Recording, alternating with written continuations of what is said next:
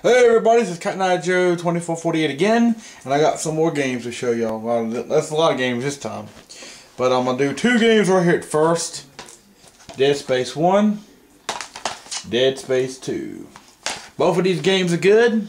Both of these games can freak you the hell out. Both of these games can scare you if you play them in the dark. You gotta play these games in the dark, no lights on, from the scare, because these enemies the, the, the enemies in the game, uh, the uh, people in the game, they come out, jump out in front of you when you least expect it and freak the hell out of you. Sometimes they come out with 30 to 40 enemies on De on Dead Space 2. But this one, you like if you get like maybe six, maybe 10 people all, all, all in the game at once.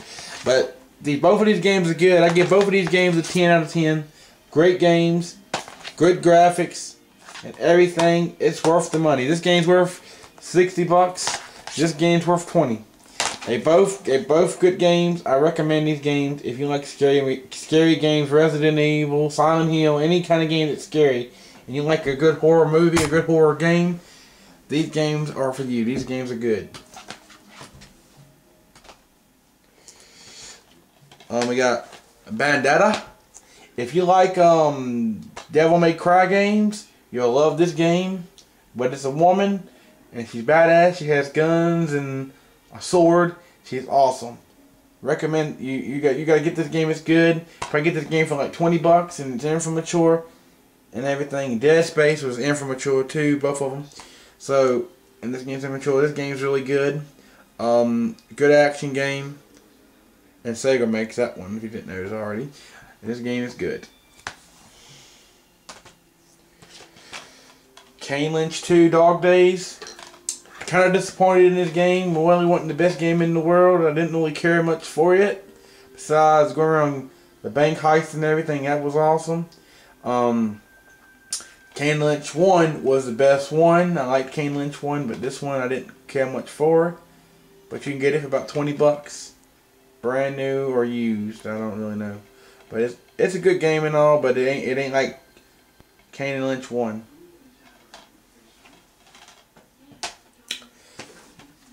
Prototype.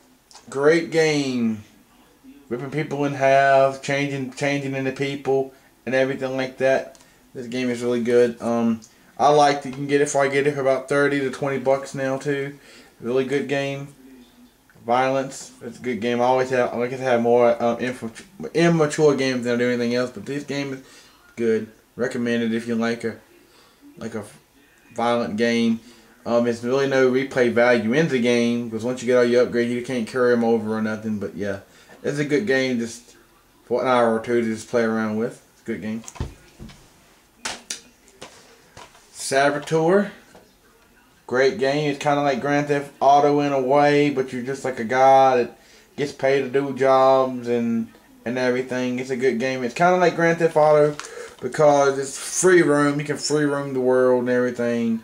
But at, like when you start the game, everything's black and white. But as you proceed in the game and, and do missions and do stuff for people, the world starts lit up lit up with color and yeah, it makes it cooler that way. And and if you got the code in the box, you can uh, it, the girls you see in the game will be nude. So I guess that's a good price of mission if you want to see nude girls or whatever. So yeah, this game is good too. Recommend it. You can probably get it for about twenty, thirty dollars now. So we'll pick this one up, the Saboteur. Um, Borderlands. It's a good game. Uh, it's kind of like Fallout 3, kind of in a way, but this game is way better than Fallout 3 or New Vegas, both. This game is way better, in my opinion. People might not like to say this game sucks. But yeah, this game is awesome. I like it. You can upgrade your character and you get better weapons and all that stuff. I think it's over like 5,000 some weapons in the game, people say.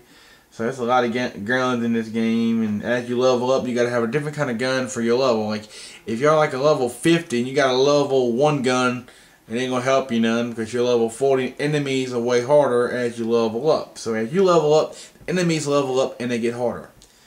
Just keep that in mind. And well, that's Borderlands and it's M for Mature. Well, this is Cotton Eye Joe 2448 and uh, I'm out and I'll do some more game reviews later on. Alright, have a nice night.